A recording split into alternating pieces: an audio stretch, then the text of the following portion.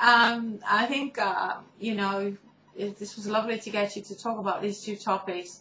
Um, a couple of words about ELT chat, if you if you wouldn't mind uh, commenting on. I know you don't take part in our ELT chats.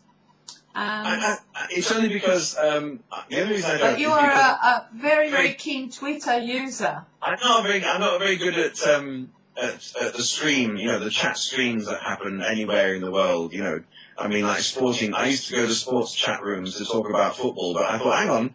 I, my, you know, the one I wanted to reply to has gone back about 19, you know, Yeah, uh, lines up. is that kind of stream thing. Um, no, I think it's a terrific idea. I, I, I think that, uh, as I always say in my talks, Twitter is a fantastic forum in so many different ways for the English language teaching community, probably for doctors and architects as well. I just don't know.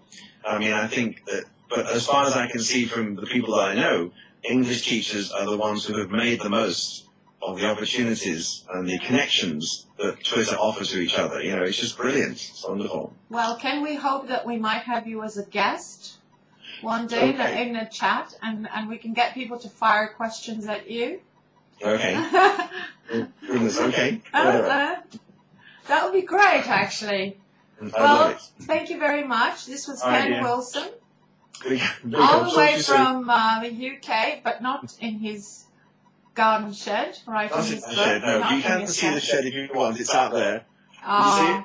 this is the Yeah. famous shed that you can see across from the Yeah. uh, Mhm. Wilson's window. And uh, very, very, uh, quite a few Twitter friends have take, had their photograph taken in there in various stages of uh, array or disarray, I would say.